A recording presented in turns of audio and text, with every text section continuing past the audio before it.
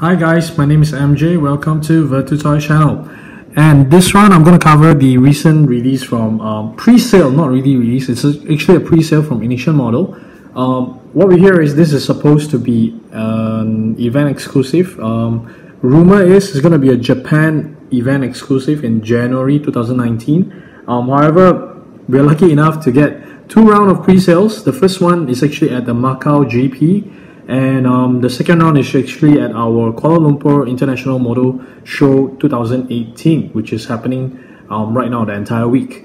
Uh, so uh, they have released a couple of pieces as uh, and they call it a pre-sale, and I'm really lucky to be able to get my hands on this piece uh, as well. So what I'm going to do is I'll just do a very quick comparison with the uh, the other gray model that was released earlier, and um, that is actually a gray metallic uh, version. So you can see actually it's a bit different. Um, it's not the same uh, shade of gray.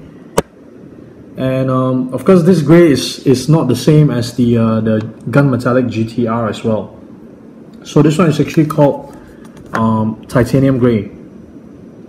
It's uh, a little bit more it has the matte finishing to it which I really really like so the rest of the packaging is actually still very similar. So I will just skip that. We'll, we'll take this out, we put it aside, and we'll go straight to the card. So one of the biggest difference um, is that this one on the base it doesn't say that uh, the limited production number. So this one it says limited production to 999 pieces. Uh, let it zoom a little bit so that you can see it okay and um, this one does not have that. So we are guessing um, that is that um, only 500 pieces were made. That's what we are guessing. Um, okay you know what? We just stick it out and we'll take a very close look at it. Okay here we go. All right check it out. So I've actually um, you probably have seen this already in my comparison video. I've did a comparison um, Ignition Model 164 scale versus their 1 to 43 scale.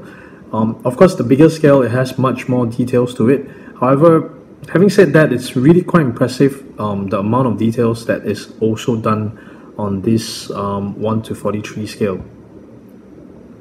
Okay, look at that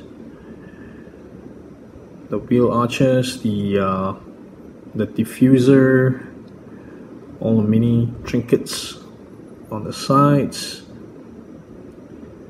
So-called supposed to generate more downforce, but um, I guess for Pandem it's more for the looks than the practicality. Correct me if I'm wrong on that. It's really impressive, you know.